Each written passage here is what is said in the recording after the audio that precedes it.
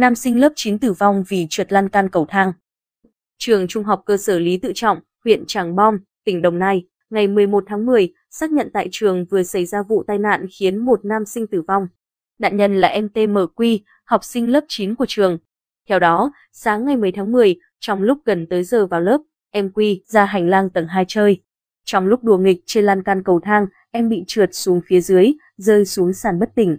Phát hiện sự việc, các thầy cô giáo trong trường đã đưa nam sinh tới bệnh viện huyện Tràng Bom để cấp cứu.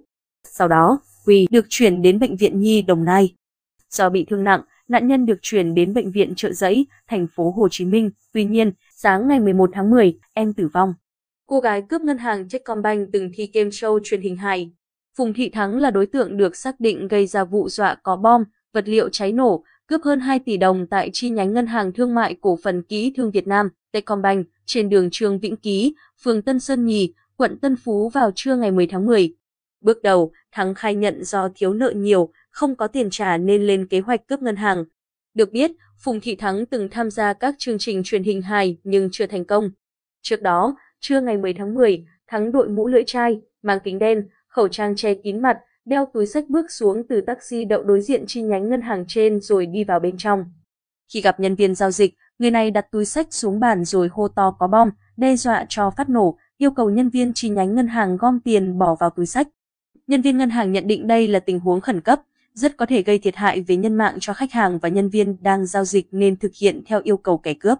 Gom được tiền, đối tượng nhanh chóng ra taxi đợi sẵn vụt đi. Số tiền thắng cướp đi khoảng 2,1 tỷ đồng. Sau khi gây ra vụ cướp, Thắng vào nhiều trung tâm thương mại ở quận Tân Phú, quận Tân Bình, thay quần áo, mũ và các phụ kiện khác để ngụy trang xóa dấu vết, tránh sự truy bắt của công an. Ban giám đốc Công an thành phố Hồ Chí Minh đã chỉ đạo các đơn vị nghiệp vụ Công an thành phố Hồ Chí Minh, Công an quận Tân Phú vào cuộc điều tra, truy xét đối tượng. Sau hơn 2 giờ vào cuộc điều tra, công an đã bắt giữ Phùng Thị Thắng khi người này đang trong một trung tâm thương mại trên địa bàn quận Tân Phú. Tú bà 22 tuổi bán dâm có vỏ bọc sang chảnh ít ai ngờ. Mới đây, Phòng Cảnh sát Hình sự Công an tỉnh Tuyên Quang đã ra quyết định khởi tố vụ án, khởi tố bị can đối với Nguyễn Thị Lan, sinh năm 1998, trú tại xã Trung Hòa, huyện Chiêm Hóa, tỉnh Tuyên Quang, về hành vi môi giới mại dâm, xong được cho tại ngoại do đang nuôi con 17 tháng tuổi. Trước khi bị khởi tố, Lan giấu mình dưới vỏ bọc là bà chủ tiệm nêu có cuộc sống sang chảnh, thường xuyên chụp ảnh ở những địa điểm sang trọng đắt tiền. Lan thường xuyên khoe những hình ảnh nóng bỏng dù đã là mẹ. Khi tiếp xúc với khách mua dâm, Lan tự nâng giá cho bản thân với vỏ bọc con gái nhà lành, ngoan hiền. Đường dây của Lan quy tụ hàng chục thiếu nữ tuổi từ 18 đến 22 là những cô gái có nhan sắc, thích ăn diện. Lan thỏa thuận ngã giá và trực tiếp thu tiền của khách mua dâm với giá khoảng 2,5 triệu đồng một lần mây mưa, nhưng chỉ trả cho gái bán dâm khoảng 1 triệu đồng. 1,5 triệu đồng còn lại, tú bà này đút túi. Khi giao dịch, Lan dùng nhiều số điện thoại và liên tục thay đổi địa điểm để tránh bị phát hiện bắn bạn nhậu tử vong vì đòi về sớm. Ngày 10 tháng 10, Công an tỉnh Tiền Giang đang tạm giữ hình sự Huỳnh Á Nhân, sinh năm 1996, ngụ xã Hòa Khánh, huyện Cái Bè, điều tra về hành vi giết người. Theo điều tra ban đầu, tối mùng 8 tháng 10, Nhân tổ chức tiệc rượu tại nhà. Nguyễn Hữu Đăng, sinh năm 2003, ngụ cùng xã và ba người khác đến nhậu. Cả nhóm nhậu đến khuya. Lúc ngồi nhậu, đang nói với Nhân là anh mệt không nhậu nổi nên xin về sớm. Nhân dọa nếu đang không nhậu nữa thì sẽ bị bắn. Nói xong, Nhân bất ngờ lấy ra khẩu súng và bắn bạn nhậu. Nạn nhân được đưa đến bệnh viện cấp cứu trong tình trạng ổ bụng bị tổn thương, thủng dạ dày và tử vong sau đó. Chiều mùng 9 tháng 10, cơ quan điều tra đã vận động gia đình đưa nhân ra đầu thú. Đã tìm thấy thai phụ bị nước lũ cuốn trôi tại Huế.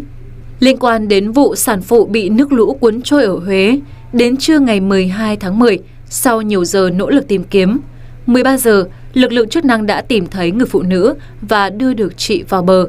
Theo những người dân theo dõi trực tiếp, thai phụ đã qua đời, nạn nhân được lực lượng chức năng đưa về nhà luôn. Theo tìm hiểu, nhà nạn nhân khá gần với khu vực xảy ra tai nạn. Nạn nhân tên là Hoàng Thị Phượng, 35 tuổi, ở xã Phong An, huyện Phong Điền, Thừa Thiên Huế, đang làm công nhân may ở khu công nghiệp Phong Điền. Trước đó, sáng ngày 12 tháng 10, chị Phượng chuyển dạ, gia đình đưa lên thuyền đến bệnh viện. Vừa đi được một đoạn thì chị rơi xuống nước. Lúc này trời đang mưa lớn, nước chảy xiết, cuốn chị mất tích trước sự bất lực của người chồng. Đoạn clip dài khoảng 15 phút ghi lại cảnh dòng nước lũ dâng cao, đục ngầu, trắng xóa cả một vùng. Còn người đàn ông thì kêu gào, vò đầu bất tai trong bất lực thực sự khiến người xem thương cảm.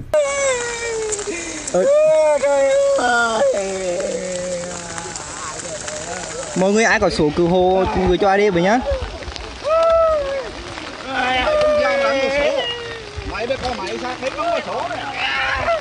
Đoàn đi là ngay cô vượt đường sắt á, ngay cô vào đường sắt, đoàn kia là 7 còn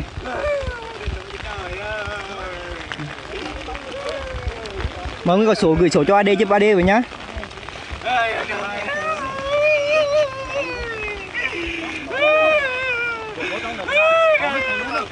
Đoàn câu vượt đường sắt km 23 chào công an các bạn ấy.